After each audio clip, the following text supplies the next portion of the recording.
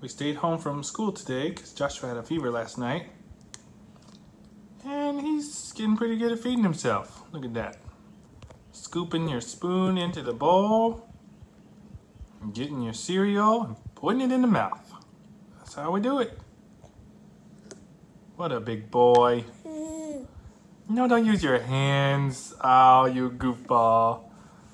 Oh, you goofball. You're supposed to use a spoon.